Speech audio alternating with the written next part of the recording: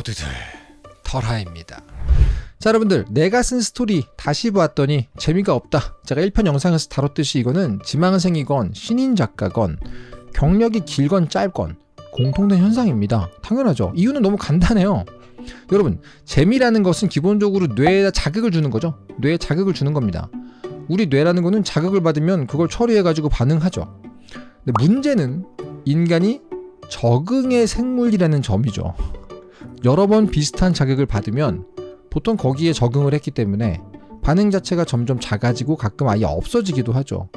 가장 대표적인 게 뭐예요? 스포일러. 스포일러를 우리가 싫어하는 이유가 뭐예요? 이미 자극을 먼저 받아서 처음 그 자극을 받았을 때 반응이 나, 낮춰지는 게 너무 싫은 거잖아요. 그쵸? 우리가 흔히 알고 있는 스포일러라는 것도 다 그런 겁니다. 그죠? 그런데 문제가 있어요. 문제가 뭐냐면 우리 스토리에 있어서 참신한 설정, 어떤 캐릭터의 매력, 또 뭐 사건의 흥미진진함, 또 뭐가 있냐?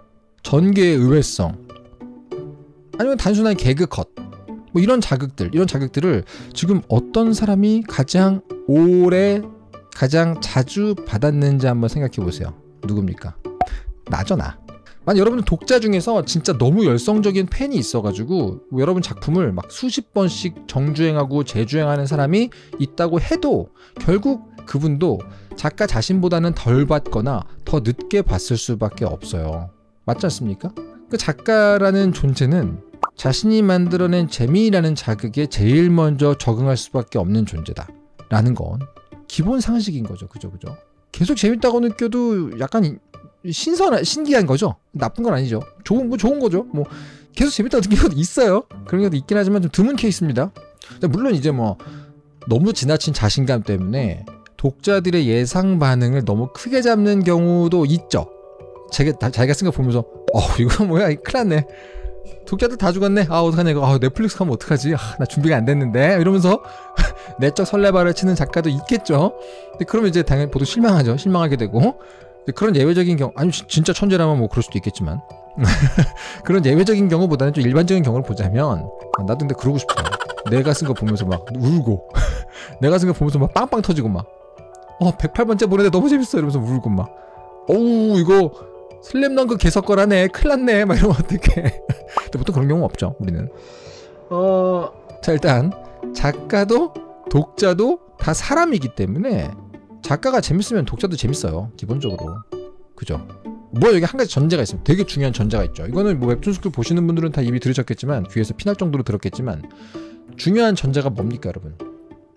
작가 본인이 웹툰이나 만화나 아니면 뭐 이야기가 담겨 있는 모든 어떤 것들 웹소설, 영화, 애니 뭐가 됐건 이런 것들을 거의 안 본다면 어떨까요?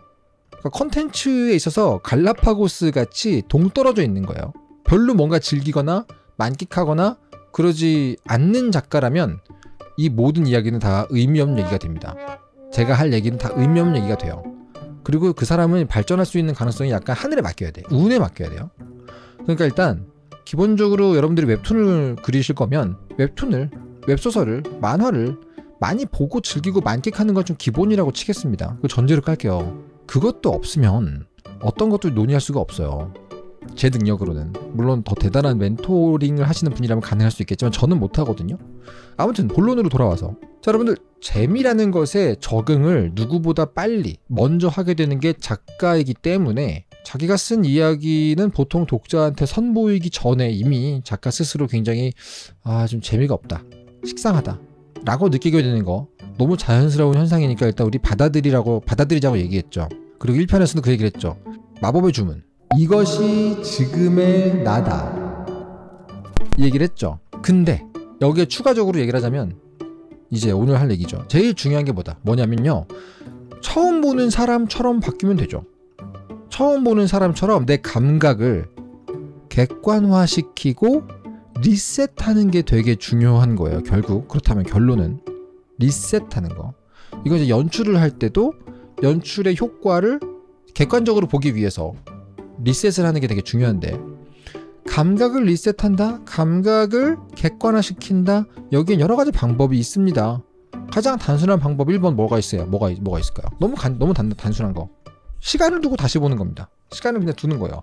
가장 자연스러운 감각의 리셋 방법이죠. 며칠 있다가 보거나 혹은 몇 주 있다가 다시 보거나 여러분들 그림도 계속 한 장 붙들고 그리고 있으면 내 그림이 어디가 망가졌는지 어디가 일그러졌는지 내 눈으로 모릅니다. 그럴 때 어떡합니까? 그냥 놔두고 다음날 아침에 일어나서 딱 보면 깜짝 놀라죠. 어 이게 왜 이래 여기? 어 여기 왜 이렇게 엉망이지? 이렇게 알죠. 사실 뭐 여러분들 그림 그릴 때 그림을 그릴 때 계속 좌우 반전을 해서 보라고 하잖아요. 그거 안 하는 사람들 그림 잘 안 늘어요. 계속 그리면서 좌우 반전을 해서 이렇게 보라는 이유도 사실은 큰 의미에서 같은 이유인 거예요. 우리의 감각, 시각 감각을 리셋해서 객관적으로 보게 하기 위해서 낯설게 하기를 하는 거죠. 자, 그런데 이렇게 시간을 두고 다시 보는 거, 이 방법은 사실은 지망생이나 마감 중인 작가들에게는 사실 안 맞는 방법입니다. 그죠? 왜? 시간이 없잖아요. 시간이 없으니까요. 그럼 보통 어떻게 하느냐? 2번. 아직 자극에 적응되지 않은 사람, 즉 친구나 동료나 주변 사람들한테 보여주죠. 여러분들. 이제 그 사람들은 아직 적응되지 않은 감각일 거니까 그 감각을 믿어보기 위해서 한번 피드백을 요청하는 거죠. 이건 많은 이건 이, 이 이게 가장 많이들 하는 방법이잖아요. 어떻게 보면. 근데 여기에 여러분들 피드백에 수많은 함정이 있다는 거 우리 채널에서 많이 얘기했을 겁니다. 우리 지난 영상에 피드백 편 꼭 다시 보셔야 됩니다. 아시겠죠? 그래서 이제 여러분들 아주 구체적인 질문 세트를 만들어서 피드백을 받으라고 제가 말씀을 드렸잖아요. 이렇게 해야 그나마 좀 감각의 리셋을 이제 타인을 통해서 하는 거죠. 피드백을 통해서. 근데 이제 세 번째가 되게 중요해요. 세 번째 방법. 이게 제일 중요한 부분인데 어떻게 보면 좀 어렵죠. 어려운데 여러분들의 자기 자신의 감각이 너무 이제 적응돼 가지고 재미가 있는지 없는지 여부를 판단을 못 하겠거나 주변 사람들한테 받는 그 피드백의 위험도 좀 피해가고 싶다면 어떻게 하냐?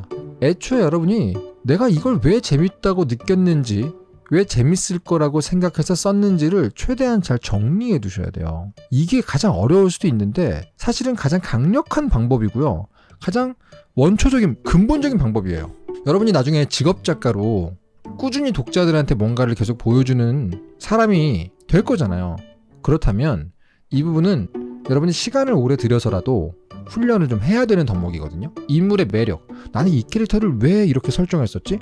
왜 이 사람을 뭐 가족이 없는 사람으로 설정했지? 왜 이 사람에게 이런 상처가게 설정했지? 아, 내가 어떠어떠한 캐릭터들의 이런저런 면에 굉장히 많이 반하는구나. 내가 그런 캐릭터를 주로 좋아하는구나. 그래서 내가 내 캐릭터를 이렇게 설정했었지. 이런 것, 이런 거. 뭐 사건, 뭐 전개, 소재. 이게 뭐가 됐건 간에 애초에 내가 여러분들이 흥미롭다고 생각한 거, 여러분이 매력적이고 좋았다고 느꼈던 그 근거, 그 이유, 그 자체를 정리해두고 잘 간직하셔야 돼요. 이게 되게 중요합니다.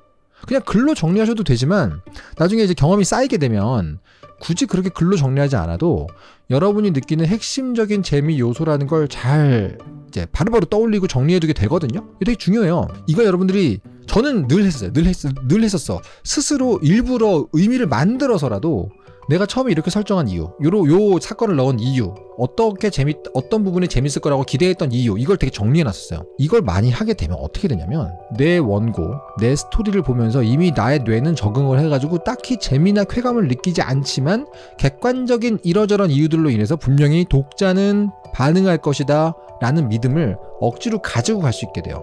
되게 중요합니다, 여러분. 어떻게 보면 결국 자기 의심을 하면서 갈 수밖에 없는 게 이 직업이기 때문에 그 자기 의심의 망망대해 속에서 딱 바라보고 있을 한 가지 별자리, 한 가지 등대 같은 걸 준비해 놔야 돼요. 아무리 깜깜한 밤이어가지고 이, 뭐, 이곳이 맞나? 이 방향으로 배를 몰면 독자가 좋아할까? 아무것도 안 보이는 상황이 옵니다, 무조건.